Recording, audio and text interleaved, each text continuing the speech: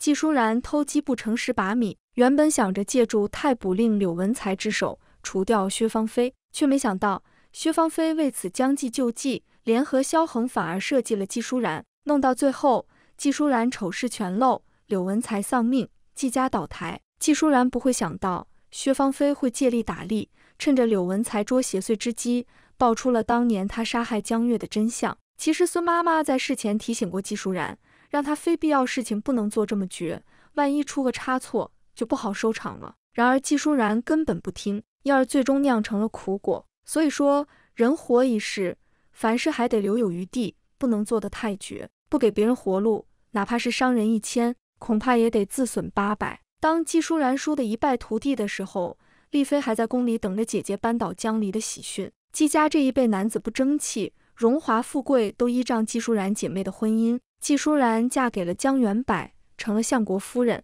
丽妃进了宫，得到了前后两位皇帝的宠幸。世家大族人情冰冷，就算是宠冠后宫的丽妃，在季彦霖眼里也即将成为弃子。先帝那一招，太子早夭，三皇子赵烨的母亲夏氏死于夺嫡之争，被送到了皇后膝下抚养。丽妃懂得审时度势，她明白先帝已日薄西山，一旦龙御宾天。像她这样年轻又无子嗣的宫妃，注定要陪葬。他不想死，就要有一棒。而未来的皇帝就是改变人生最好的筹码。当时二皇子，也就是日后的成王，背后有刘太妃，丽妃只能选择为皇后所不喜的赵烨。他给赵烨做下是擅长的酒酿丸子，时常宽慰赵烨的丧母之痛。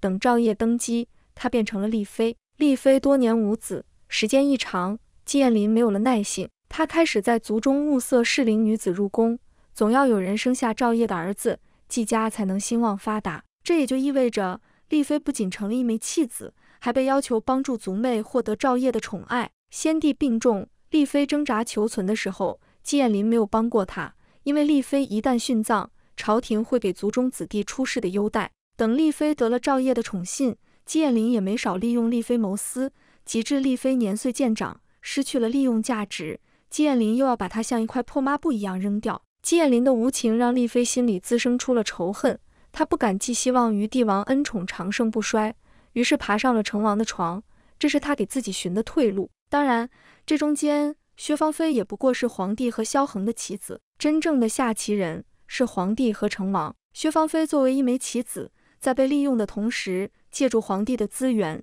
比如萧恒，成功完成了自己的复仇计划。当然。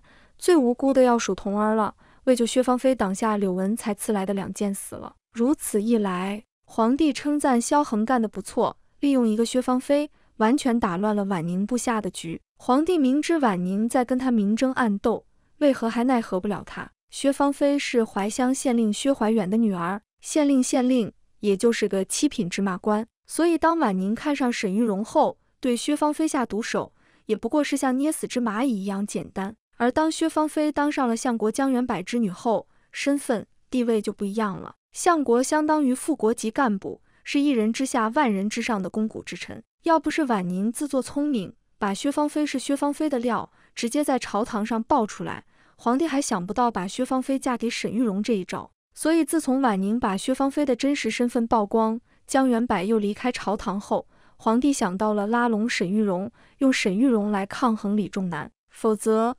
整个朝堂还真就成了李家的朝堂了，当然背后的人是成王。如此一来，皇帝说什么朝堂都反对，没人支持他，这不就成了傀儡皇帝了吗？皇帝很清楚，沈玉荣一直很爱薛芳菲，而此时把薛芳菲嫁给沈玉荣，那么他还不对皇帝感恩戴德、死心塌地？特别是现如今，薛芳菲的身份早已不是七品官员的女儿了，而是江家的女儿。婉宁还敢随便动现在的薛芳菲吗？当然不敢。如此一来，既拉拢了沈玉荣，又把沈家跟江家整合在了一起，简直是一箭双雕。而这才是皇帝为何不顾萧恒的反对，一定要牺牲薛芳菲，把她赐给沈玉荣的真相。别看现在局势，皇帝已然有牺牲薛芳菲的想法，就像薛芳菲替江离复仇一样，还不是把自己的命搭上，最终成功惩治了季舒然。很多事情在执行中是有转机的，